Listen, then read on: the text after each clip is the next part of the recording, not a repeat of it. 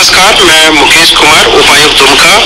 आप सबों को बहुत बहुत नमस्कार। दुमका ज़िले में 19 मई को चुनाव प्रस्तावित है। सुबह सात बजे से चार बजे मतदान होना है।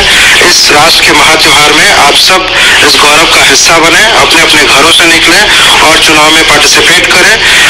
इस नंबर से जब भी कॉल आए, कृपया आप इस नंबर को सेव कर लें।